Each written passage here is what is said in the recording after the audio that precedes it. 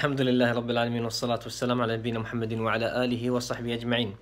من المفطرات المعاصرة آه، منظار المعدة. هل منظار المعدة يفسد الصيام أم لا؟ فذهب آه، جمهور العلماء إلى أنه يفسد الصيام. ويرى الحنفية أنه لا يفسد الصيام إلا أن يستقر في جوف الإنسان. ومثلوا على ذلك بالحديدة والحصاد. وذهب بعض العلماء ومنهم شيخ الإسلام ابن تيمية آه، إلى أنه لا يفطر. وذهب إليه من علمائنا المعاصرين آه، الشيخ محمد بن صالح العثيمين رحمه الله تعالى. فيرون أنه لا يفطر لأن هذا ليس مما يطلق عليه أنه طعام أو شراب.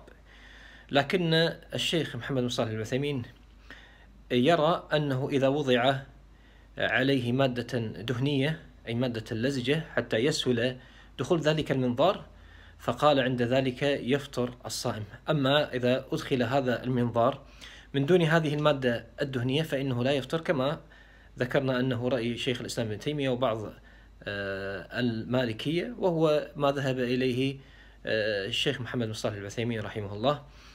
آه، وبما أن الأطباء يرون أنه من الصعب إدخال هذا المنظار إلى جوف الإنسان من دون هذه المادة الدهنية فإن على ذلك إذا آه، آه، يعني استخدم هذا المريض المنظار بوضع هذه المادة اللزجة ومادة الدهنية فإنه يفطر على ذلك ويقضي يوما مكانه. هذا والله أعلم وصلى الله وسلم على نبينا محمد.